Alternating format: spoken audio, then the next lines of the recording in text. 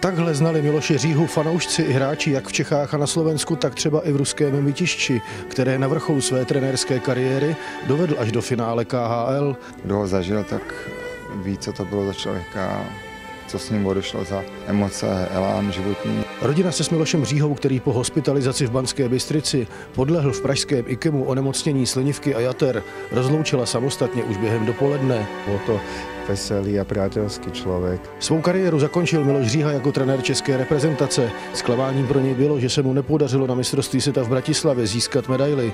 Už se to ani známému Bouřlivákovi nepodaří.